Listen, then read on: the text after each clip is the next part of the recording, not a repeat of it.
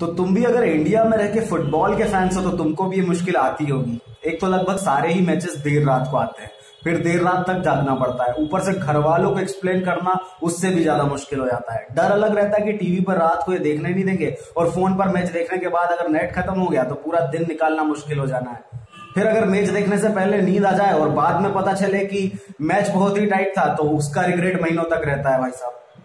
उसके बाद दूसरों की बकचोदी सुनो, वो अलग। इसमें क्या स्किल है? बस ग्यारह लोग एक बॉल के पीछे भाग रहे हैं। ऑलरेडी फुटबॉल गोल है। उसको और गोल क्यों करनी? भाई, अगर धोनी गोल कीपिंग करता, एक गोल नहीं होने देता। फिर उनको सालों को एक्सप्लेन करना कि ये कितना टफ गेम है ऑल्सो है टास्क और साला पूरे साल हम देखें फुटबॉल और वर्ल्ड कप पे अचानक से पूरी दुनिया फुटबॉल पंडित बन जाती है। हद है मतलब। और ये भी अपने आप में बहुत बड़ा स्ट्रगल है. You have to find friends who are football fans too वरना सारे क्रिकेट क्रिकेट क्रिकेट करते रहते हैं और फुटबॉल के नाम पे उनको पता होता है तो बस रोनाल्डो, मेसी और नेमार.